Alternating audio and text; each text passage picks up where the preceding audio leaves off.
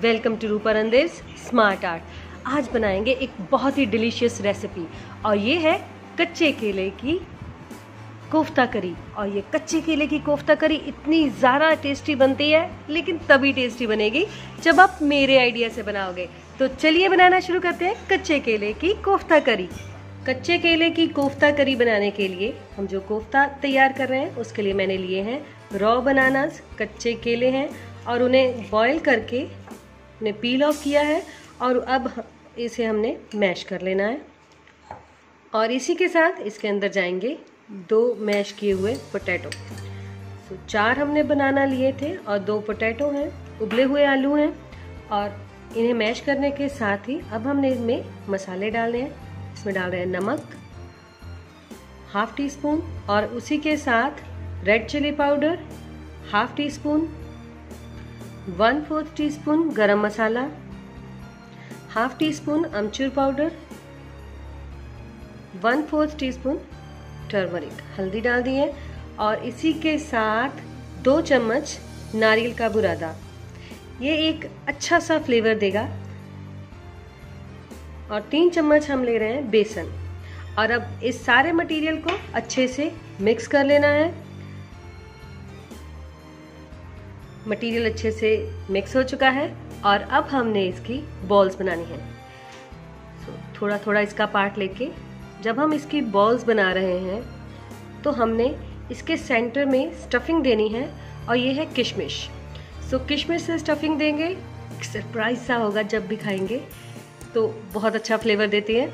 तो इसी तरह से हमने सारी बॉल्स तैयार कर लेनी। हमारी कोफ्ता बॉल्स रेडी हैं।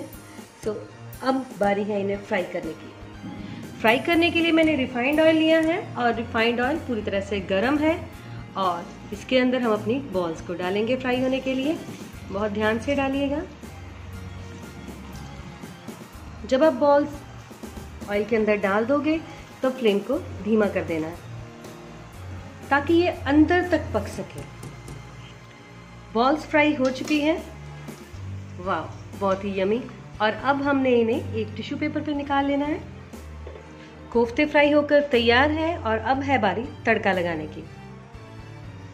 ग्रेवी बनाने के लिए मैंने लिए हैं दो टेबलस्पून रिफाइंड ऑयल और उसके अंदर एक चम्मच जीरा।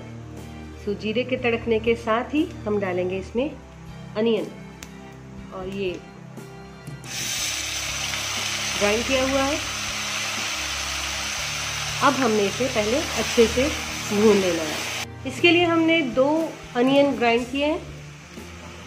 प्याज के भुन जाने के साथ ही हम डालेंगे इसके अंदर अदरक और लहसुन का पेस्ट। और इसे भी हल्का सा भूनना है।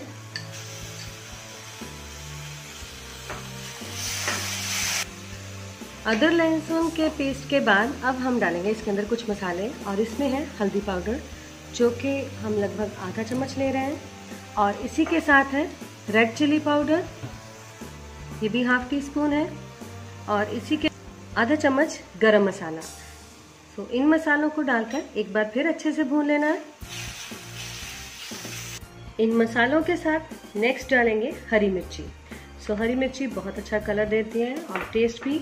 और उसी के साथ हम डाल रहे हैं टोमेटो प्यूरी सो टमाटर है। सो जितने हम प्याज ले रहे थे, उससे डबल अब हमने अपनी ग्रेवी को अच्छे से पकाना है। टमाटर के अच्छे से पक जाने के साथ ही अब हमने इसे थोड़ा सा रिच और बनाना है और उसके लिए हम इसके अंदर डाल रहे हैं काजू पेस्ट और ये ऑलमोस्ट 10 काजू होंगे 8 से 10 काजू हैं, जिसका हमने पेस्ट तैयार किया है और इसको ग्रेवी के अंदर डालेंगे और ये बहुत ही थिक और टेस्टी हो जाएगी। अच्छे से मिक्स करके हमने इसे दो मिनट के लिए पकाना है। काजू पेस्ट को दो मिनट पकाने के बाद अब हम इसके अंदर डालेंगे पानी। बहुत ज़्यादा पानी नहीं डालना क्योंकि हमने ग्रेवी को थिक रखना है। सो ऑलमोस्ट हाफ़ लीटर पानी है और इसे अच्छे से अब हमने एक उबाल आने तक पकाना है। जब तक ग्रेवी रेडी हो रही है, अब हमने इसके अंदर डालना है नमक। एक चम्मच नमक डाल रहे हैं बाकी आप अपने टेस्ट के अकॉर्डिंग डाल सकते हैं। और अब हमने ग्रेवी को पकाना है।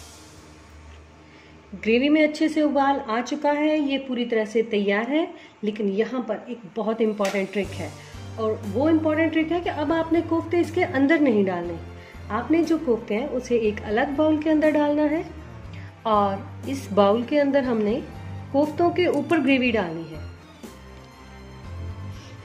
क्योंकि ये कोफ्ते बहुत सॉफ्ट होते हैं, इसलिए इन्हें बहुत ध्यान से सर्व करना है और ग्रेवी को कोफ्तों के ऊपर ही डालना है।